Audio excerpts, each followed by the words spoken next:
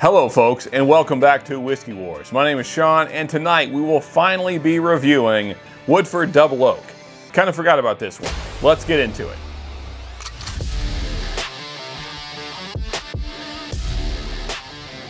So, here is our bottle for this evening. At long last, we're finally reviewing Woodford Double Oak. This is one of those bottles that I thought that I had reviewed, but uh, ends up, no, I have not. So uh, yeah, now we're doing it, finally. Uh, anyway, here we go. Let's get into this thing. You know, uh, if you want the history of Woodford, I have another video that covers that pretty thoroughly. Uh, but the short of it is that the distillery that is Woodford now was many other things before it became Woodford. Changed hands a lot, changed names a lot, a lot of famous people involved along the way.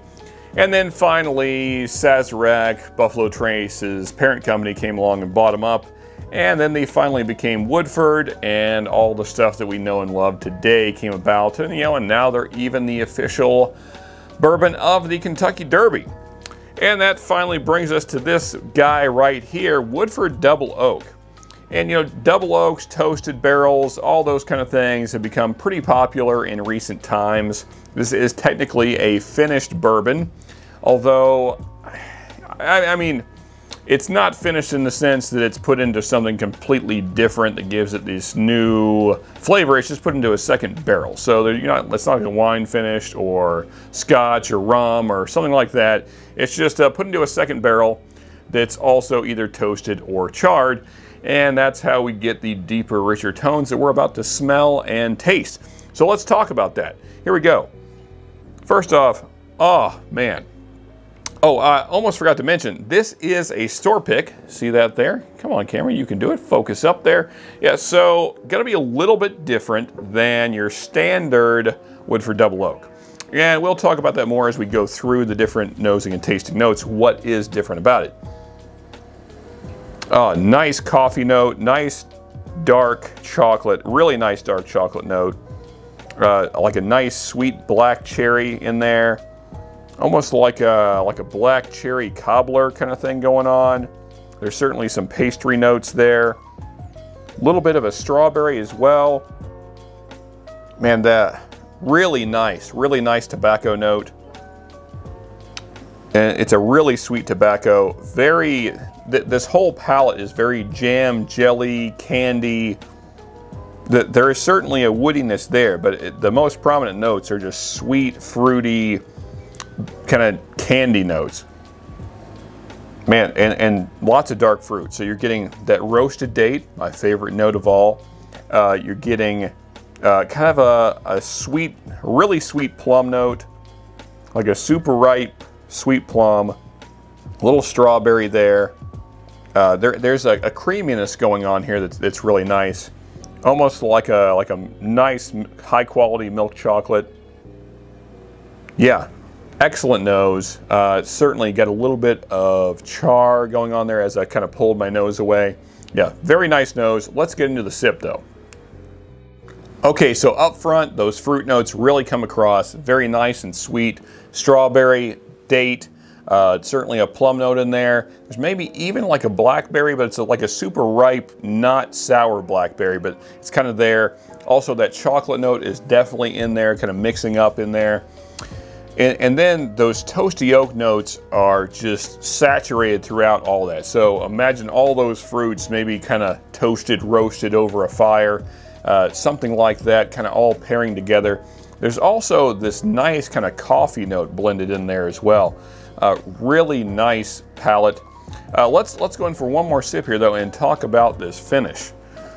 All right, folks, before we get into this second sip and talk about that finish that is fantastic, I just want to remind folks that we do have a Patreon. And so if you want to support the channel directly and also get the benefits of our Patreon, then please check that out. You can get in for as little as $2 a month, but $5 is where you really start to get some nice benefits. So check that out if that's something you would like to do. And uh, one of those benefits is samples from me. So you get to try all the stuff that's around me here. So if that appeals to you, then please check that out. Now let's talk about these tasting notes. So something to mention, the palate's very soft because this is 90.4 as all Woodford stuff is. Well, not all, but most Woodford stuff is that 90.4, which is an odd proof point, but that's kind of Woodford's calling card. Uh, right before you swallow though, so before you get to the finish, back of the palate, there's this brief moment of sharpness. It's kind of a brief ethanol punch. It's kind of like this ethanol and bright cherry note that pops up real quick.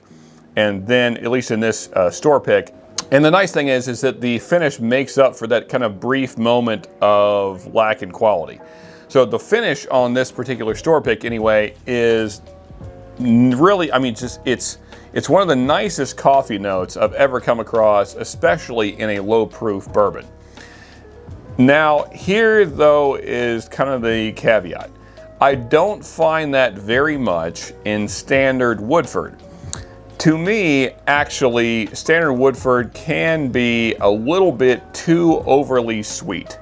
Uh, I actually prefer picks generally, especially if it's from a store that I know does good picks. So I certainly recommend finding Woodford picks if you can find them. Now, a lot of people really love the standard Woodford Double Oak offering, and I really enjoy it. It's just I don't like them as much as the picks, and I know that's kind of putting you guys in a weird space because you're like, well, I can't get this pick, and I understand that, but I'm just saying if you see picks, they're worth a pickup because, especially if for you, like myself, Woodford Double Oak comes across as too sweet. It's it's almost like kind of sickeningly sweet sometimes. You can get like too candied, too fruity, like way too sweet jam, something like that.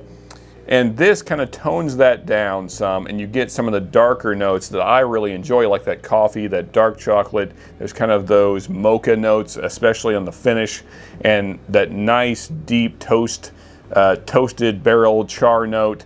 Uh, all that going on in the finish. This, this bottle has one of my favorite finishes of a bottle under 100 proof. It's just excellent to me. Now, score though. I'm not going to score this bottle because you guys can't find this bottle. So I'm going to score the standard Woodford. And I've tried it many times. I know the profile basically by heart because I've went through many bottles. Uh, that and 1910 are some of my favorite bottles that I drink way too often, probably.